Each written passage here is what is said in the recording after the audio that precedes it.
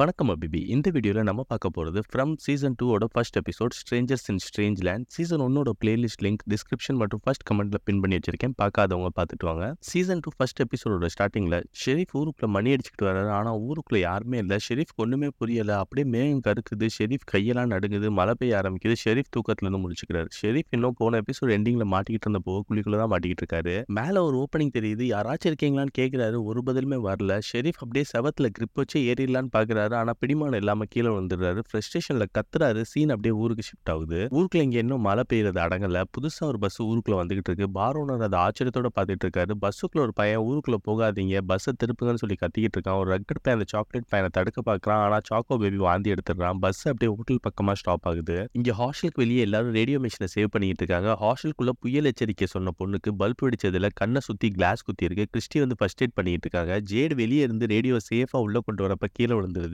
அப்ப இவர் ஹோட்டல் கிட்ட ஒரு பஸ் நிற்கிறத பார்த்துட்டு போய் வார்டன் லேடி கிட்ட சொல்ல ட்ரை பண்ணுறாரு ஜூலியை அப்பா ஏன் ஓடினான்னு சொல்லி வார்டன் லேடி கிட்ட கேட்டுக்கிட்டு இருக்காங்க. வார்டன் லேடி அதை விட பெரிய பிரச்சனைலாம் போய்கிட்டு இருக்குன்னு சொல்லிட்டு எல்லாரையும் சேஃப் பண்ணுறதுக்கான ஸ்டெப்ஸ்லாம் எடுத்துக்கிட்டு இருக்காங்க.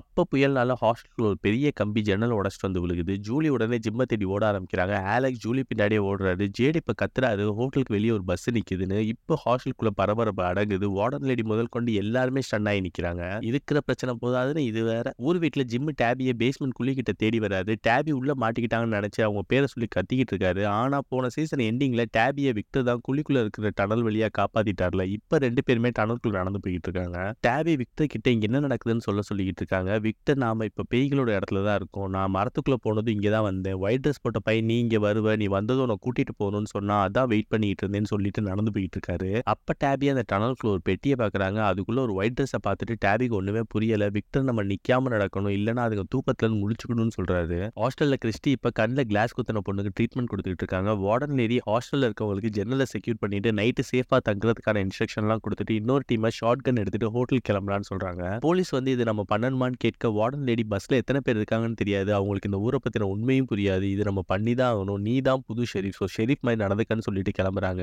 பஸ்ஸில் வந்த மக்கள் பஸ்ஸுக்கு வெளியே ஹோட்டல் கிட்ட நின்றுட்டு இருக்காங்க ஒரு பாட்டி மட்டும் மழையை செம்மையாக என்ஜாய் பண்ணிட்டு இருக்காங்க அப்போ டக்குன்னு மழை பெய்யுறது நின்றுது. பஸ்ஸுக்குள்ள ஒரு பொண்ணு வாந்தி எடுத்த சாக்கோ பேபிக்கு ட்ரீட்மெண்ட் கொடுத்துட்டு இருக்காங்க இன்னொரு பையன் நீ என்ன டாக்டரான்னு கேட்கிறாரு. ஆமா டாக்டர் தான். பீரியாடிக் டாக்டர்னு பொண்ணு சொல்றாங்க. ரெண்டு பேரும் சாக்கோ பேபி கிட்ட நீ ஏன் அப்படி கத்துறேன்னு கேட்கறாங்க. அதுக்கு அந்த பையன் கெட்ட கனவு கண்ணேன்னு சொல்லிக்கிட்டு இருக்கப்பயே ரக்கட் பேபி உள்ள வந்து நீ எப்படி என் மேல வாந்தி எடுக்கலான்னு சண்டை போடுறாங்க? ஆனா சாக்கோ பேபி சாரி சாரின்னு சொன்னதுமே ரக்கட் சண்டை போடாம என் பேக்கை மட்டும் எடுத்துட்டு கிளம்பிடுறான். வெளியே இப்ப ஜூலி அங்க வந்து பஸ்ஸை பார்த்ததுமே ஷாக் ஆகுறாங்க. பின்னாடியே ஆலெக்ஸ் வந்ததும் ஜூலி ஜிம்மை தேடி வீட்டுக்குள்ள போறாங்க. அப்போ ஒயின் ஷாப் ஓனரும் அங்க வராது ஆலெக்ஸ் பஸ் டிரைவர் கிட்ட போய் நீங்க எல்லாரும் தங்குறதுக்கு இன்னைக்கு நாங்க ஹோட்டல திறந்து விட்டுறோம்னு சொல்றாரு. ஆனா பஸ் டிரைவர் நாங்க ஒன்றும் இங்கே ஸ்டே பண்ண வரல. ஸோ நீ ஒதுங்கி இது எங்களை நாங்கள் பார்த்துக்குறோன்னு சொல்கிறாங்க வீட்டுக்குள்ளே ஜிம்மு குழிக்குள்ளே இருந்து டேபியை காப்பாற்ற ட்ரை பண்ணிட்டு இருக்காங்க. ஜூலி இதை பார்த்ததுமே அம்மா இறந்துட்டாங்கன்னு நினச்சிட்டு ரொம்ப அழுக ஆரம்பிக்கிறாங்க. ஜிம்மு நீ போய் ஹெல்ப்புக்கு ஆட்களை கூட்டிகிட்டு வா. அம்மாவை கண்டிப்பாக காப்பாற்றிடலான்னு சொல்கிறாரு ஜூலியும் வெளியே வந்து ஆலெக்ஸ் கிட்ட நடந்ததை சொல்கிறாங்க பார் ஓனர் பஸ் மக்கள்கிட்ட ஒரு லேடி குழிக்குள்ளே மாட்டிக்கிட்டாங்க. கொஞ்சம் ஹெல்ப் பண்ணுங்கன்னு சொல்கிறாரு பஸ் டிரைவர் எங்களால் முடியாதுன்னு சொல்லியும் ரெண்டு பேர் பார் ஓனர் கூட ஜிம்மு வீட்டுக்குள்ளே போகிறாங்க ஜூலியும் உள்ளே போக போகிறாங்க ஆலெக்ஸ் நீ உள்ளே போகாத. நீ உள்ளே போய் ஃபீல் பண்ணிக்கிட்டு இருந்தேன்னா டேபியை காப்பாற்றுற ப்ராசஸ் டிலே ஆகும் போகணும்னு சொல்லிக்கிட்டு இருக்கப்பயே வார்டன் லேடி அங்க டீமோட வராங்க. போலீஸ் ஹோட்டலை திறந்து மக்கள் எல்லாரையும் உள்ள போக சொல்றாரு. வீட்டுக்குள்ள பார் ஓனர் ரக்கட் பையன் இன்னொரு பையன் ஜிம்முக்கு உதவ போறாங்க. டனலுக்குள்ள விக்டரும் டேபியும் சத்தமே இல்லாம நடந்து போயிட்டு இருக்க இடத்துல பேய்களாம் தூங்கிட்டு இருக்கு. ஷெரீஃப் புகைப்பொக்கிக்குள்ள இருந்து யாராச்சும் இருக்கீங்களான்னு கத்திக்கிட்டு இருக்காரு. அப்ப மேல இருந்து ஒரு குரல் நீ நிஜமா உள்ள இருக்கியான்னு கேக்குது. ஷெரீஃப் நான் நிஜம் தான் நீ நிஜமான்னு கேட்கிறாரு. சரின்னு அந்த குரல் நான் உனக்கு ஹெல்ப் பண்றேன். நீ மேல வந்து எனக்கு ஹெல்ப் பண்ணுன்னு சொல்லிட்டு ஒரு கயத்தை தூக்கி போட்டுட்டு சீக்கிரம் வா. அதுங்க வர்றதுக்கான நேரம் வந்துருச்சுன்னு சொல்லுது. இங்க ஹாஸ்டல்ல புயல் எச்சரிக்கை சொன்ன பொண்ணு கண்ணில் கண்ணாடியெல்லாம் குத்தி இப்போ ஒத்த கண்ணு பொண்ணு ஆயிடுச்சு அவங்க ஜேடு கிட்ட திடீர்னு புயல் வந்தது பல்ப் பிடிச்சதெல்லாம் பார்த்தா அதுங்க நம்ம மேலே கோவப்பட்ட மாதிரி இருக்குதுலன்னு கேட்குறாங்க ஜேடானா அந்த பொண்ணு சொன்னதெல்லாம் கண்டுக்காம திட்டி அனுப்பிச்சிடுறாரு அந்த பொண்ணு போனதும் ஜேடுக்கு செவத்துல போன சீசனில் பார்த்தா அதே முத்திரை தெரியுது. சைடில் பார்த்தா ஒரு பொம்மை உட்கார்ந்து இருக்கிற மாதிரி இருக்குது டக்குன்னு அந்த பொம்மை கத்துனதும் ஜேடு பயத்தில் மறுக்கா கத்துறாரு. இப்போ அந்த பொம்மையும் இல்லை முத்திரையும் இல்லை. கடுப்பான ஜேடு வெளியே வந்து சேரில் உட்காந்து தம் அடிச்சுக்கிட்டு இருக்காரு. அப்போ ஈத்தன் அங்கே வந்து ஜேடு கிட்ட சிகரெட் இன்ஜூரியஸ் டு டிஸ்கிளைமர்லாம் போடுறாரு. ஜேடு சரி அதெல்லாம் இருக்கட்டும் நீ விக்டரோட ஃப்ரெண்டு தானே இங்க விக்டரோட ரூம் எங்க இருக்குன்னு கேட்கிறாரு. சீன் அப்படியே டனலுக்கு ஷிஃப்ட் ஆகுது. இங்க விக்டரும் டேபியும் நடந்து போற இடத்துல நிறைய பொருட்களா இருக்கு பேய்களும் தூங்கிட்டு இருக்கு. இதெல்லாம் பார்த்துட்டு டேபி ரொம்ப பயந்துடுறாங்க. விக்டர் தைரியம் சொல்லி முன்னேறப்ப ஜேடு பார்த்த அதே பொம்மையை இங்க டனலுக்குள்ள பார்த்ததும் விக்டர் பயந்து டார்ச்சை கீழே போட்டுட்டு ஓடுறாரு. டேபி டார்ச் எடுத்துட்டு போய் பார்த்தா விக்டர் நடிஞ்சிக்கிட்டே என்கிட்ட ஒயிட் ட்ரெஸ் பையன் சொன்ன வழியை நான் மறந்துட்டேன். நான் தப்பான வழியில வந்துட்டேன்னு சொல்லி புலம்புறாரு. டேபி ப்ளீஸ் அமைதியாரு நாம இவ்வளவு நேரம் உயிரோட இருக்கோம்னா அது காரணமே நீ தான் வா நம்ம நடந்துகிட்டே இருக்கணும்னு சொல்லி சொல்லி விக்டருக்கு இப்போ இவங்க தைரியம் சொல்லி கூட்டிகிட்டு போகிறாங்க இங்கே ஹாஸ்டலில் விக்டரோட ரூமில் ஜேட் ஏதோ தேடிக்கிட்டு இருக்காரு. ஈத்தன் நீ பண்ணுறது தப்பு. விக்டருக்கு இதெல்லாம் பிடிக்காதுன்னு சொல்கிறாரு ஜேட் அப்பா அவருக்கு தெரியுற முத்திரையை பற்றிலாம் எக்ஸ்பிளைன் பண்ணிட்டு இந்த புக்லேருந்து கிடச்ச கிடைச்ச எடுத்து காமிச்சு இந்த ஃபோட்டோவில் இருக்கிறவர் தான் இந்த புக்கில் இந்த முத்திரையை வரைஞ்சாரு. இந்த ஃபோட்டோட பேக்ரவுண்டில் பாரு விக்டர் சின்ன வயசுலேருந்தே இந்த ஊருக்குள்ளே தான் இருக்கான். ஸோ விக்டருக்கு இந்த முத்திரையை பற்றின ரகசியம் கண்டிப்பாக தெரியும். அதனால தான் இந்த ரூமில் எதுவும் க்ளூ கிடைக்குமான்னு தேடிட்டு இருக்கேன்னு சொல்கிறாரு ஈத்தன் சரி நீ முத்திரை தேடுறதெல்லாம் கரெக்ட் ஆனால் இந்த முத்திரை நல்ல முத்திரையா கெட்ட முத்திரையான்னு தெரியுமான்னு கேட்க ஜேடி என்ன ஏன் தான் பயம்படுத்துறேன்னு கேட்கிறாரு. சீன் அப்படியே ஊருக்கு ஷிஃப்ட் ஆகுது. இங்க ஊருக்குள்ள வார்டன் லேடி பஸ் டிரைவர்கிட்ட ஊர்ல இருக்க பிரச்சனையை பேசி புரிய வைக்க ட்ரை பண்றாங்க. ஆனா பஸ் டிரைவர் இதை கேட்கிற மாதிரியே தெரில அப்ப சாக்கோ பையனுக்கு வலிப்பு வர ஆரம்பிக்குது. பீடியாட்டிக் டாக்டர் ஹெல்ப் பண்ண ட்ரை பண்றாங்க. அப்போ போலீஸும் ஜூலியும் கூட வந்து ஹெல்ப் பண்றாங்க. அதே நேரம் வீடு இடிய ஆரம்பிக்குது. உள்ள இருக்கிறவங்க வெளியே வர பாக்குறாங்க. ஆனா ஜிம்மு வராம டேவியை காப்பாற்றணும்னு சொல்லிக்கிட்டு இருக்காரு. பட் டூ லேட் வீடு இடிஞ்சு நொறுங்குது. வெளியே இருக்கவங்களால ஒன்றுமே பண்ண முடியல. ஜூலி பஸ் மக்கள் வார்டன் லேடி டீம் முதல் கொண்டு வீட்டுக்கிட்ட வந்து எல்லாரும் சேஃபான்னு செக் பண்ணிக்கிட்டு இருக்காங்க. வீட்டுக்குள்ள இருந்தது நாலு பேர். ஜிம்மு மாட்டிக்கிட்டாரு. பார் ஓனர் மாட்டிக்கிட்டாரு. இன்னொரு பையனும் மாட்டிக்கிட்டு இருக்கான். ஆனால் அவனுக்கு மூச்சு பேச்சு இருக்கான்றது தெரில ரக்கட் பையன் மட்டும் ஒரு வழியா எஸ்கேப் ஆயிட்டான். ஆலெக்ஸ் அவன் வெளியே வரதுக்காண்டி ஹெல்ப் பண்ணிட்டு இருக்காரு. அதே நேரம் கிறிஸ்டி அங்கே வந்துட்டு ஹெல்ப் பண்றாங்க. கிறிஸ்டி ரக்கட் பையனுக்கு ஃபர்ஸ்ட் எய்ட் பண்ணிட்டு இருக்காங்க. இந்த பக்கம் பிடிஐடி டாக்டர் சாக்கோ பையனுக்கு ஃபர்ஸ்ட் எய்ட் பண்ணிட்டு இருக்காங்க. அப்போ ரெண்டு பேரும் ஒருத்தர் ஒருத்தரை பார்க்குறாங்க இதை பார்க்குறப்போ ஒரு மந்தையில் இருந்து இரண்டு ஆள்கள் வேறு வேறு பாதையில் போய்விட்டன.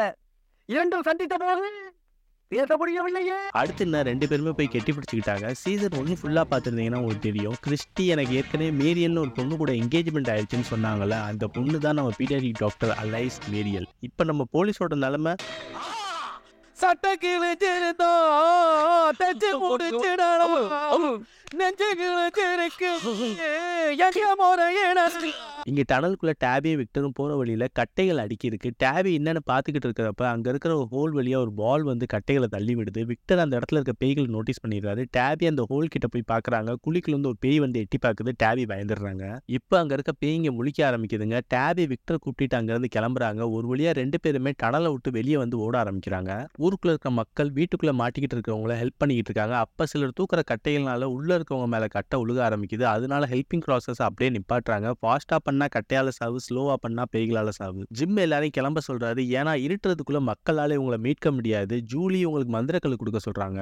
வார்டன் லேடி மந்திரக்கல் ஓப்பன் பிளேஸில் ஒர்க் ஆகாது. அது க்ளோஸ் பிளேஸாக இருக்கணும். அப்போ தான் ஒர்க் ஆகும்னு சொல்கிறாங்க ஜூலிக்கு மனசே கேட்கல வார்டன் லேடி ஷெரீஃப் அந்த மந்திரக்கலை கண்டுபிடிக்க முன்னாடி ஒரு வருஷம் நான் அந்த ஊருக்குள்ளே சர்வே பண்ணியிருக்கேன். அவங்க சத்தம் போடாமல் இருந்தாலே போதும். சேஃபாக இருப்பாங்கன்னு சொல்லி ஜூலியை கூல் பண்ணிக்கிட்டு இருக்காங்க. அப்ப பஸ் டிரைவர் பஸ்ஸை ஸ்டார்ட் பண்ணுறாங்க வார்டன் லேடி ஓடி போய் ஊருக்குள்ள இருக்க பிரச்சனையை மறுபடியும் சொல்கிறாங்க ஆனால் யாருமே கேட்குற மாதிரி தெரில ஆர்குமெண்ட் போயிட்டே இருக்குது கடுப்பான வார்டன் லேடி அவங்க வண்டியில ஷார்ட் எடுத்துகிட்டு எடுத்துட்டு வந்து பஸ்ஸோட ஒரு டயரை சுடுறாங்க. டயரை சுட்டதும் கொஞ்சம் பஸ் மக்கள் பயந்து ஓட ஆரம்பிக்கிறாங்க. ஃபாத்திமா மக்கள் பின்னாடி ஓட ஆரம்பிக்கிறாங்க. ஆலெக்ஸ் ஃபாத்திமா பின்னாடி ஓடுறாரு. போலீஸ் இப்போ வானத்தை நோக்கி ஃபயர் பண்ணிட்டு எல்லாருமே ஹோட்டலுக்குள்ள போக சொல்கிறாங்க அங்கே நின்றுட்டு இருக்க மக்கள் எல்லாருமே ஹோட்டலுக்குள்ள போகிறாங்க வீட்டுக்கிட்ட நிற்கிற ஜூலிட்ட ஜிம்மு நான் கட்டைகளை குழிக்குள்ளேருந்து எடுக்கிறப்போ ஒரு டனலை பார்த்தேன். ஸோ உங்கள் அம்மா டேபி உயிரோட தான் இருக்காங்க. அவங்களுக்காக வெயிட் பண்ணு. அவள் கண்டிப்பாக உன்னை தேடி வருவான்னு சொல்லி ஸ்பீச் கொடுக்குறாரு. ஜூலிக்கு அவங்க அம்மா சேஃபாக இருக்கான்னு நினச்சி சந்தோஷம் சந்தோஷப்படுறதா? இல்ல அப்பா குழிக்குள்ள மாட்டிக்கிட்டு இருக்கான்னு நினைச்சு வருத்தப்படுறான்னு தெரியல. போலீஸ் வந்து ஜூலியை கூட்டிட்டு ஹோட்டலுக்குள்ள போறாரு. இங்க ஷெரீஃப் கயரை பிடிச்சு ஒரு வழியா திக்கி முக்கி புகக்குழிக்குள்ள இருந்து வெளியே வராரு. அப்போ ஒரு குரல் நான் ஆக்சுவலா நீ வெறும் கற்பனைன்னு தான் நினைச்சேன்னு சொல்லுது. ஷெரீஃப் உடனே கன் எடுத்துக்கிட்டு பார்த்தா அவர் ஹெல்ப் பண்ணவர் சங்கிலியில கெட்டப்பட்டிருக்காரு. அது மட்டும் இல்லாம எலும்பும் தோலுமா இருக்காரு. ஷெரீஃப்க்கு ஒண்ணுமே புரியல. இந்த மனுஷன் ஷெரீஃப் கிட்ட உன்ட்ட கன் இருக்கா? அப்படின்னா நான் கேட்ட ஹெல்ப் ஈஸியா முடிஞ்சிடும்னு சொல்றாரு. ஷெரீஃப் என்ன ஹெல்ப்னு கேட்க அந்த மனுஷன் நீ என்ன கொல்லணும்னு சொல்றாரு எபிசோட் முடியுது. ஊருக்குள்ள மக்களை துரத்திட்டு போன ஆலெக்ஸ் பாத்திமாவோட நிலைமை என்ன ஆக போகுது? டேபியும் விக்டரும் பேய்கிட்ட இருந்து தப்பிப்பாங்களா இல்லையா? ஜிம்மும் பார் ஓனரும் இந்த இரவை கடப்பாங்களா இல்லையா? பஸ் மக்கள் இந்த நைட்டு அமைதியாக ஹோட்டலுக்குள்ள இருப்பாங்களா? ஷெரீஃப் கிட்ட தன்னைத்தானே கொல்ல சொன்ன ஆள் யாரு?